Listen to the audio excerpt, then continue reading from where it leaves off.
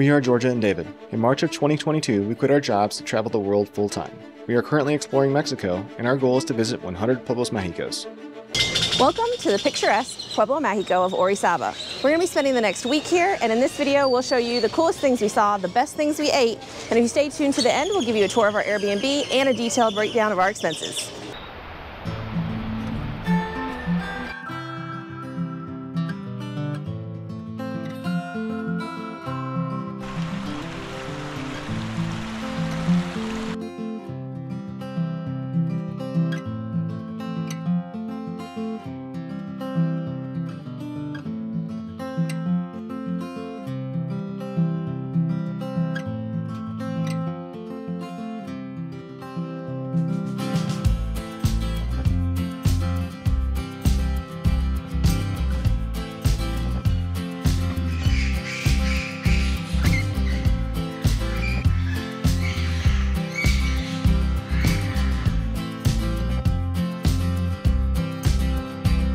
So today's first order of business was to check out the Riverwalk, which has a bunch of animal enclosures on the sides. Yeah, there are signs saying that uh, most of the animals on display were rescued from either circuses or private homes, or they were just wandering into towns when they shouldn't have been. Um, I think one of the coolest was to see all the jaguars. They had quite a few of them on display. They also had lions. Um, really neat. Uh, we've still got a couple more uh, enclosures to check out, and then maybe we'll grab some breakfast.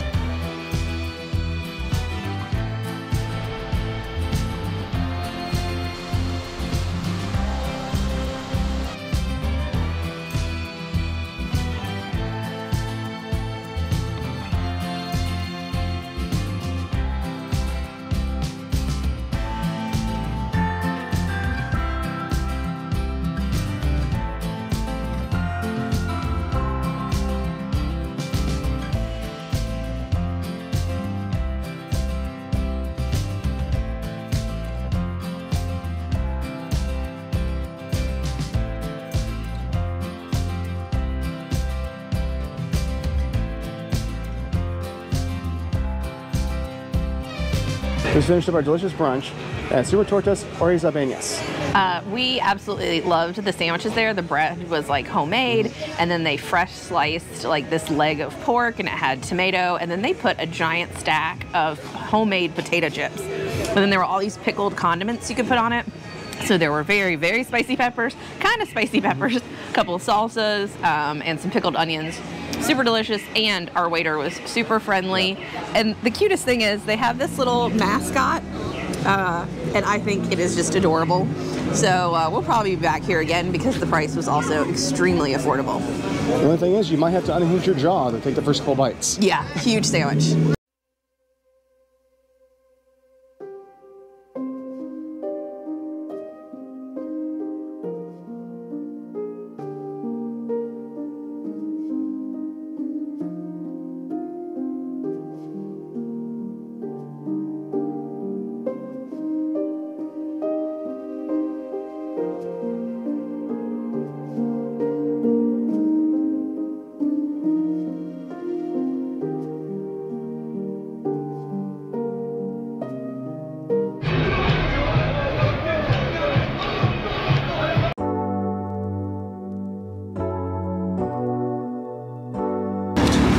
Is one of the most famous buildings in Orizaba, the Palacio de Hierro. Uh, this building was actually designed by uh, Eiffel, the same guy who designed the Eiffel Tower. And the building was actually built in Belgium, then disassembled and then reassembled here over the course of two years. Uh, the structure is absolutely gorgeous and it now houses, I think, like eight museums. So we're gonna go in and check it out.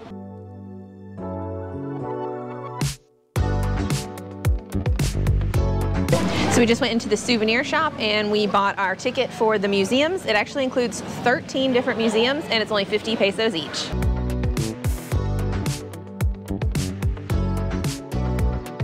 The first three museums were upstairs and included the Roots of Orizaba, which was a small archaeological museum, the Rodolfo Neri Vela Museum, dedicated to the first Mexican in space, and our favorite, the Interactive Science Museum.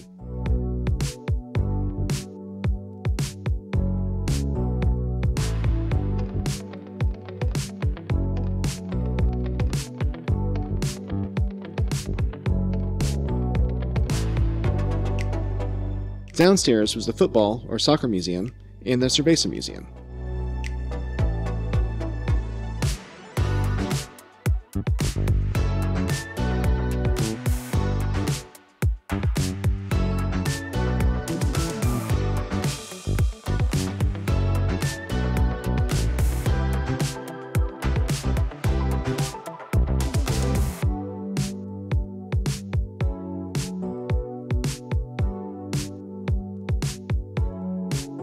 Next stop was the House of Legends of Orizaba, which has plaques telling local tales completely in Spanish. They also have displays depicting scenes from the legends.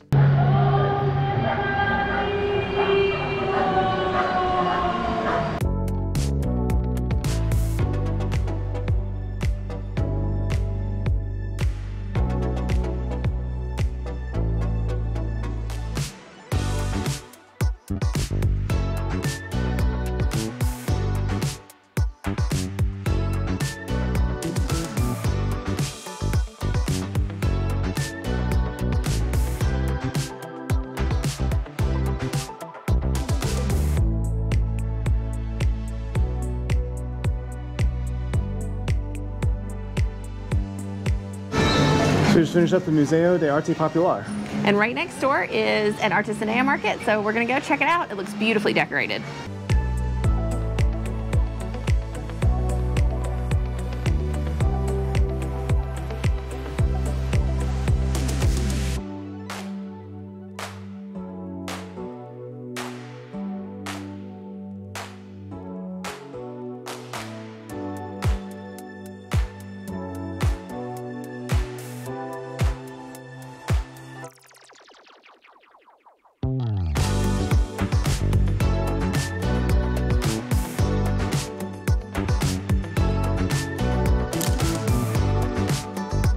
After walking through the main square, we continued on to another smaller square with a beautiful church before heading on to more museums.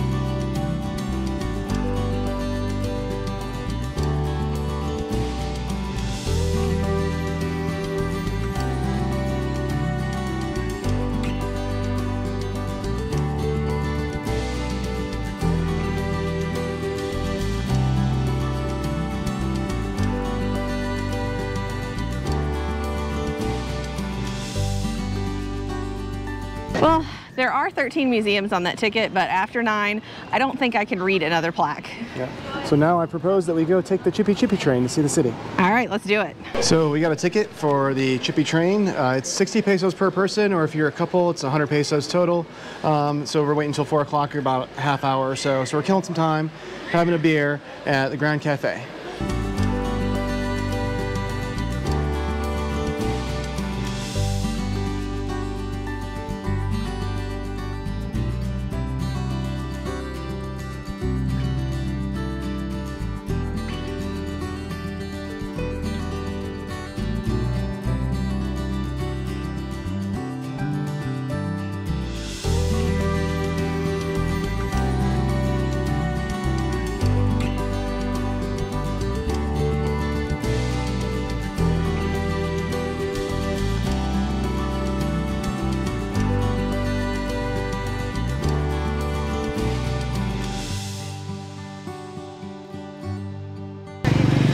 After our ride on the Chipi Chipi train, we were starting to get a bit hungry. So we headed over here to Aborigen and we had a nice little dinner.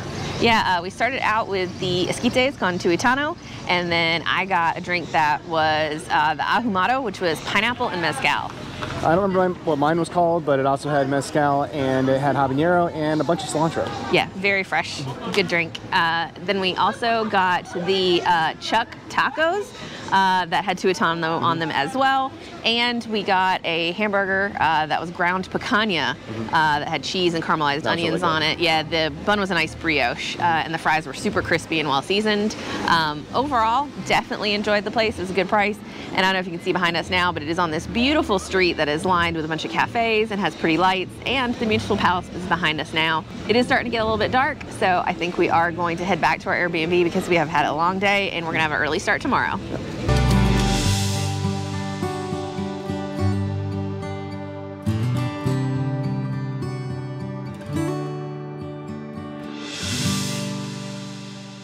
So today we're starting out back at the Municipal Palace because they have a couple of museums inside. Yeah, those museums are part of that 13 museum ticket and we are going to try to see them all. Uh, right now it is a bit cloudy. We are hoping that it clears up later because we want to take the Teleferico up to the hill. Uh, there are a couple uh, museums at the top of that. So fingers crossed.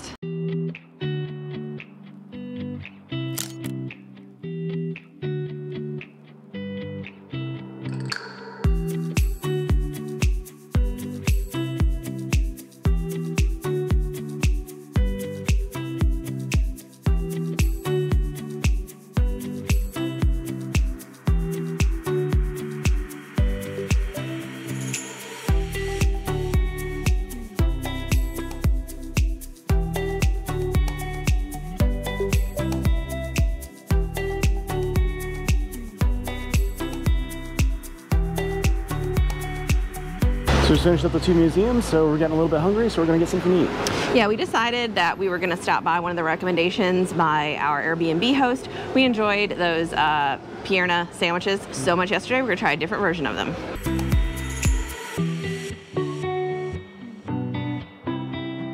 So we finished our brunch. It was pretty good, but it wasn't as good as the sandwiches we had yesterday. Uh, Georgia got the medianoche, which had a sweetbread and uh, some beans on it, along with the uh, Pierna and I got the Taranza, uh, which had avocado and uh, tomato on it, along with the Pierna as well.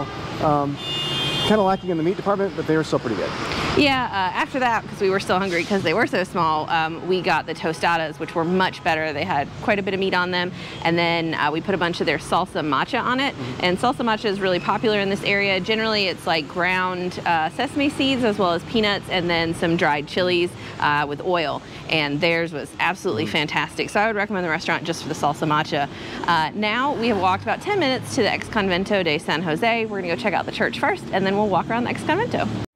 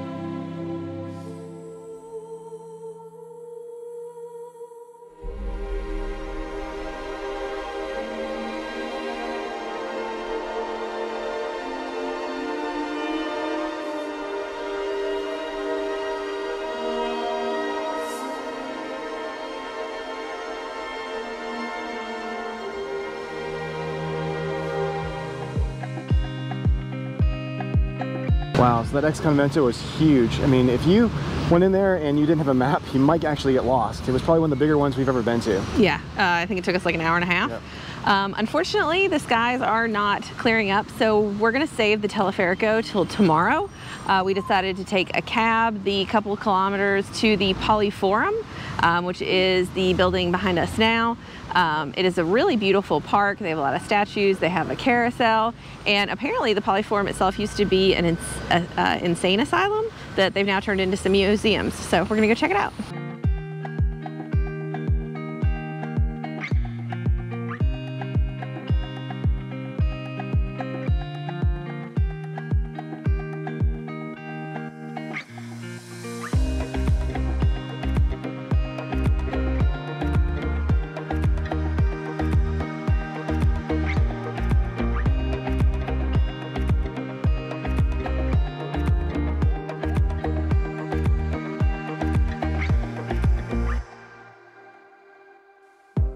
The two museums here are the Francisco Gabilondo Soler, which is dedicated to the beloved Mexican cartoonist. We skipped this one, although we know that almost every Mexican can sing his songs by heart. And the other museum was Mier y Preciado, which is dedicated to the couple who built the Poliforum.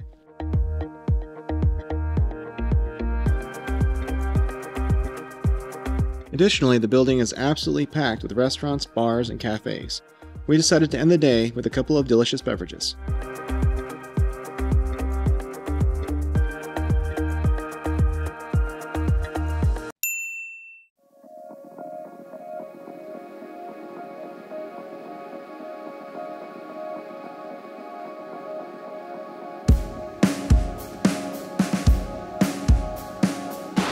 So we finally have a bright and sunny day. So we have gotten up nice and early and come down to the Teleferico. So when you come here, there's gonna be two lines. The one at the bottom of the stairs, you don't wanna get in that line at first. You wanna go up to the, the ticket office and buy your tickets first. So uh, tickets are 100 pesos per person, and it looks like they give you a two-hour window to, when you go up there. So we have a 11 a.m. ticket, and we have to come back down at 1. And right now it's about 9.45, so we got about an hour and 15 minutes to kill.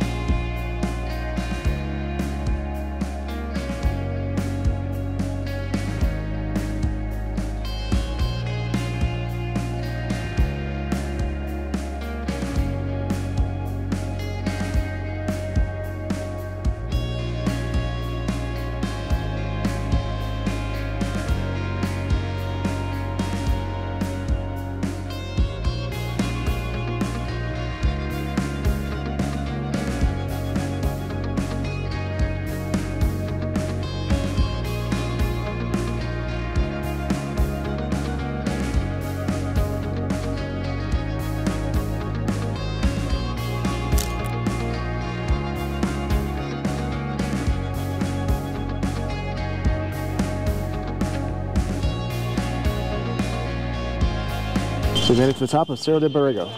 Uh, up here, there are the last two museums that are on our ticket, so we are going to go check those out, as well as, of course, appreciate the view. And apparently included with your ticket is the option to go out on their glass uh, bridge, so we're going to do that next. Unfortunately, even though we did pick a sunny day, it is still kind of hazy. Yeah. Um, it kind of looks like the Smoky Mountains in North Carolina or Tennessee, where you kind of have that haze out in the distance.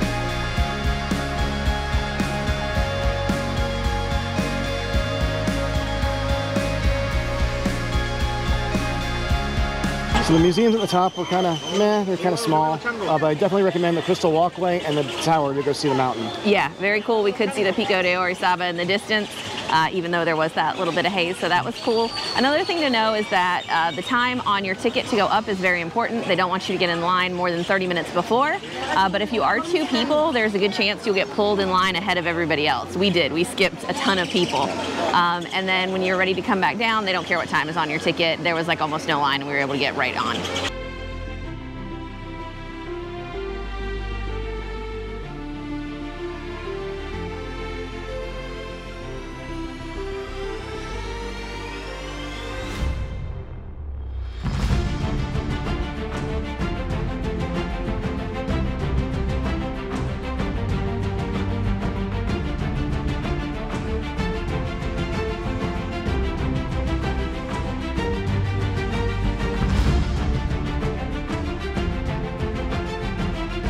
We decided to take a cab for 60 pesos to Tobogán de la Montaña. Uh, this little alpine roller coaster is super cool. I definitely recommend it. It was uh, 90 pesos per person. so not a bad deal. The ride is pretty quick, but it is definitely fun.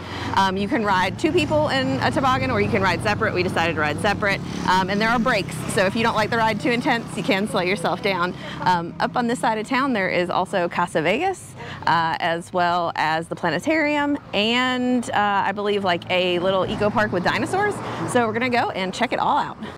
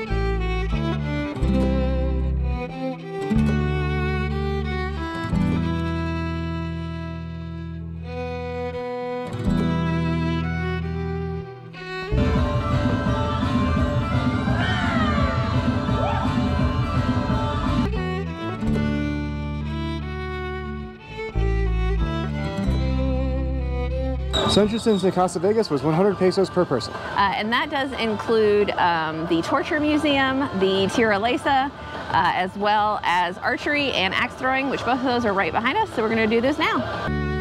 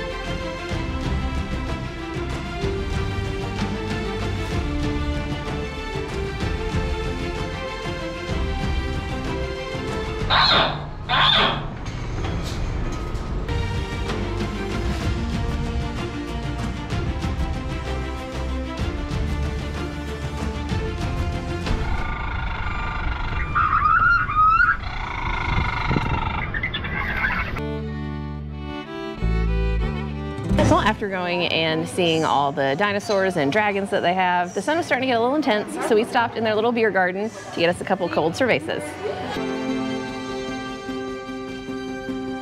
We just got tickets to the planetarium behind us, which you can access from Casavegas. Yeah, we got tickets to the 2 o'clock show. I think there was a 12, a 2, a 4, and a 6. Uh, and those tickets, I believe, were 80 pesos each.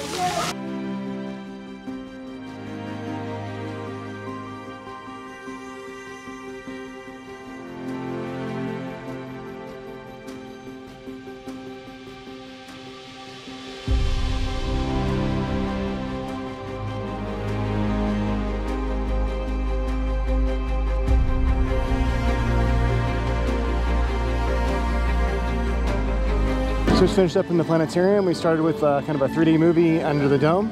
Uh, then they took us to a room where we all got to wear VR headsets. That was really cool. Uh, that was it was pretty neat. I haven't uh, had a VR headset on before, so it was a cool experience. And then we went up the stairs and we were able to look at the sun through a telescope that had a bunch of filters. So that was pretty neat. But now I think we're going to do the torture museum, and then we have to find something to eat. It's like three o'clock and we haven't eaten all day.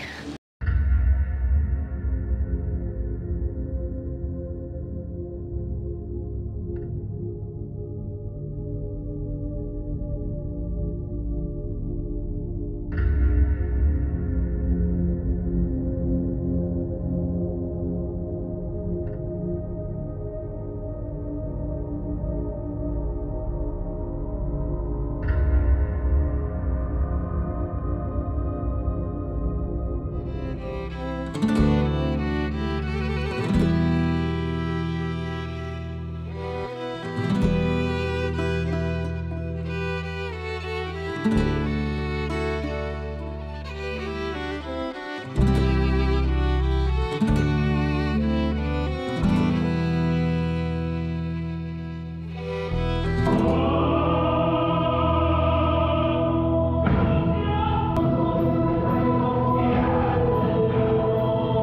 So I think we've done just about everything there is to do here at Casavegas, except for the Tirolesa, but the line is a little too long. Yeah, I think we're going to go ahead and head back to our Airbnb. We do have a little bit more of the river walk to do, so I think we're gonna get the cab to drop us off like past it so we can walk down. I think there are some tigers and some hippos uh, that we didn't get to see. So we're gonna do that, and I think that is a wrap uh, on Orizaba because tomorrow we are heading to another Pueblo Mágico.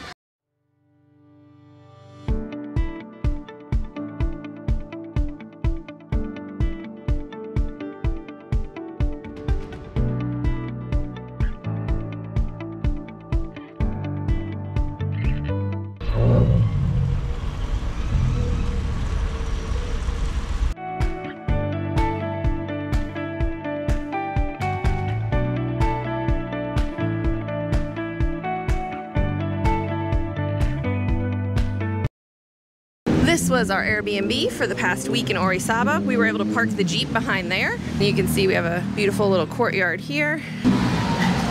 Come through the front door, we had a nice big couch, big TV. No AC in this house, but it doesn't need it most of the year. Got a big dining room table here, and then kitchen here. Interesting foosball table. Um, we had a little burner stove here and then a little toaster oven. See there was the dining room. The host left a bunch of uh, bananas and limes and lemons and oranges, snacks, teas, coffees. It was very well um, stocked. You can see we also got two full garrafones there. Come down this little hall. And this was the room that David edited videos in. We charged things, we worked out in. There's one bathroom. You can see it's been nicely remodeled, big shower. And nice little sink area. Now this hall was just an extra bedroom. We just stored a few things in here. And then this was the master bedroom, big king size bed, firm but comfortable. And we got two nightstands and then there was plenty of closet space here. We enjoyed our stay, location was very walkable, host was excellent. We want to say a very special thank you to our Airbnb hosts, Jose and Esther, who really made our trip to Orizaba special. Muchísimas gracias. Now for that cost breakdown. For seven nights, that Airbnb cost us $389. We spent $206 on transportation, $71 on entertainment, $47 at bars and on alcohol, $416 at restaurants, just $50 on groceries. I didn't really cook here. We spent $24 on utilities, that was two Telcel recharges, and just $10 on personal care. That grand total $1,213 or $173 per day. Thanks for watching, and as always, if you have any questions, comments, or suggestions, please leave them down below. If you haven't already, check out last week's video where we visit the nearby Pueblo Mágico of Coscomatepec de Bravo.